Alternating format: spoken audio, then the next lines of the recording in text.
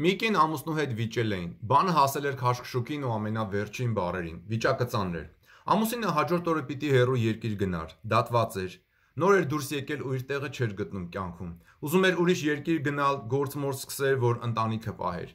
Կինը շատ է նեղվում ու չէր հասկանում, թե ինչու է տանը միշտ այսպես կռի, վեճ, բանտ եւ այլն։ Այդ օրը նա խոսեց մի հոգեվորականի հետ, ով նրան խրատ տվեց, որ անznուրացություն անի, ամուսնուց ներողություն խնդրի, թեև ամուսինն էլ մեղքի իր բաժինն ուներ։ Ընթրիք պատրաստի ու ջերմությամբ ամուսուն ճամփու դնի աղոթքով։ Կինը, ով որոշել էր նույնիսկ տնից գնալ, որ մինչև ամուսնու մեկնելը նրա հետ առնչություն չունենար, լսեց հոգևորականին։ Խոնարհվեց, հաց պատրաստեց ու սպասեց մինչև ամուսինն այդ օրը տուն գար։ Հետո հաջորդ օրը ամուսնուն մեկնելուց հետո հոգևորականին այս տողերներ ուղարկել։ Ասում էր. Տերայր ջան, ձեր ասածով եմ արել երեք։ Չնայած որ ուրիշ բան էի որոշել, քանի որ ջղայնությունս չէր անցնում միջիցս։ Հաց պատրաստեցի, զգացի ամուսինս շատ զարմացավ։ Միասին ճաշեցինք, առավոտյան ինքը սկսեց խոսել, մեկնելիս աղջկաս փաթաթվեց ու հաջող արեց։ Ինձ էլ մոտեցավ համբուրեց, բայց բան չխոսեց։ Դուրս գալուց հետո ասեցի բարի ճանապարհ։ Ներողություն ամեն ինչի համար։ Ու նա գնաց։ Հետո մի 3 անգամ զանգեց ճանապարից մեքենայով էին գնում, կամերան միացնում էր, ուզում էր իմ ու երեխեքի հետ խոսել, չարությունն անցավ միջիցս։ Փառք Աստուծո։ Սիրելի բարեկամներ, սա իրական դեպք էր։ Տեսնում եք, երբ դու վեճի մեջ անznուրացություն ես անում, մոռանում ես քո եսի մասին ու կրակի վրա ջուր լցնում հանգցնելու համար, ոչ թե յուղ։ Նույնիսկ եթե դիմացին այդ պահին դա չգնահատի, նա չի կարող խուսափել այն մտքից, որ դու քո վրա վերցրիր ծանրությունը ու խոնարհվելով հանգցրիր կրակը բարկության։ Ու այստեղ Աստուծո շնորհով սկսվում է ապակինումը։ Բարի բաներ են կատարվում, մարդը սկսում է փոխվել։ Բայց հիշեք, սա լինում է միայն այն դեպքում, երբ որ դու իսկապես ուրանում ես քո սեփական անձը, պայման որ Քրիստոսն ասել էր իրեն հետևողների համար։ Ուրանում ես քո սեփական անձը,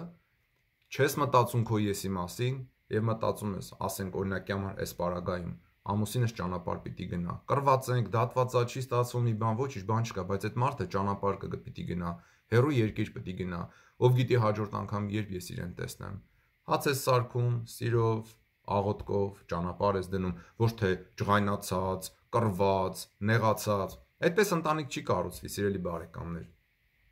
Դու տեսնում եք, հնարավոր է որ ձեր դիմացինը, լինի դա ձեր ամուսինը, դա լինի դա ձեր կեսուրը, կեսրարը, զոնքաճը կամ չգիտեմ աները կամ բարեկամը կամ եղբայրը, ինչ որ մեկը, որի հետ դու կռված ես։ Երբ որ դու անznուրած մի բան ես անում, հնարավոր է որ նա դա միանգամից չգնահատի։ Եվ դուք էլ դա չեք արել գնահատանք ստանալու համար, այլ անձը ձեր ուրացել եք, ձեր եսը, ձեր փառքը, ձեր պագոնները, բան, սա ամեն ինչ ուրացել եք Միայն ուզում եք, որ դիմացինի համար լավ լինի։ Եվ մեր Տեր Հիսուս Քրիստոսն ասաց, որ այդպես պետք է անել։ Երբ որ դուք այսպես եք անում, ձեր դիմացինը չի կարող խուսափել այն մտքից, որ էս ինչ արեց,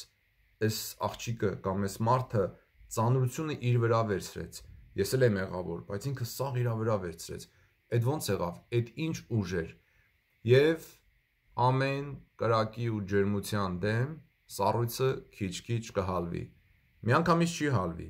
Սառույցի հալվելը կախված է ձեր ջերմության աստիճանից։ Եթե քիչ տաք, ուրեմն երկար պիտի համբերեք, որ շուտ հալ, երկար հալվի։ Եթե շատ ջերմություն տաք, այսինքն ավելի շատ ուրանաք ձեր սեփական անձը ու սիրեք դիմացինին, այն ժամանակ նա ավելի շուտ կհալվի։ Եվ սերը, խաղաղությունը, Աստուծո շնորհը, ուրախությունը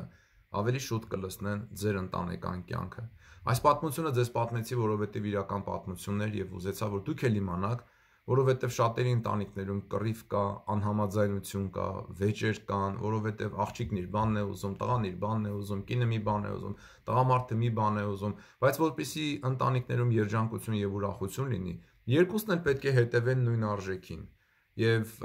պետք է ամեն ինչ լինի այդ արժեքին հետևելով։ Օրինակի համար այդ արժեքը պետք է մեր քրիստոնյաներիս համար լինի Տեր Հիսուս Քրիստոսի խոսքը, Աստուծո պատվիրանները։ Եվ այն ցանկությունները, որ դուք ունեք, այսպես անել կամ այնպես անել, պետք է նայեք այդ պատվիրանի հետ գնումա թե չէ, ով է հակառակ այդ պատվիրանին։ Այո, լինում է, որ մեկ-մեկ ասենք ամուսինը չի սիրում Աստծո պատվիրաններով ապրել, կամ կինը չի սիրում Աստծո պատվիրաններով ապրել։ Ուրեմն այդ երկուսից նա,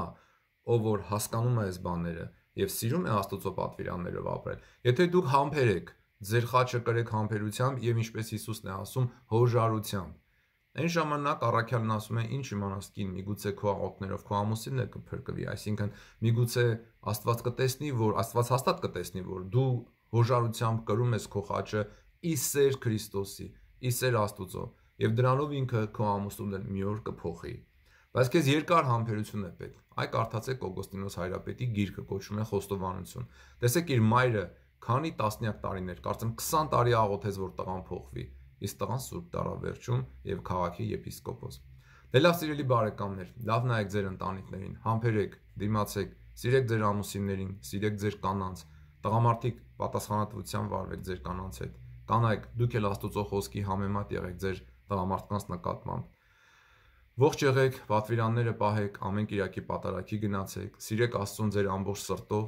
եւ սիրեք մարդկանց, ինչպես ձեր անձը։ Բարի օր եւ Աստված օգնական։ Եթե այս զայնագրությունը օգտակար եղավ ձեզ, խնդրում եմ դուք էլ պատմեք ձեր մերձավորներին այս բաների մասին, այս դեպքը պատմեք։ Կիսեք ձեր էջերին, սովորեցրեք ձեր երեխաներին, որ վաղը մյուս օր իրենք էլ սիրով եւ Քրիստոսով ընտանիքներ ունենան եւ դուք էլ ձեր ծերության օրերին ուրախությամբ ապրեք այդ օրերը։ Աստված օգնական ու պահապան եւ մեր ազգին էլ ապաշխարություն ու վերադարձ Քրիստոսին։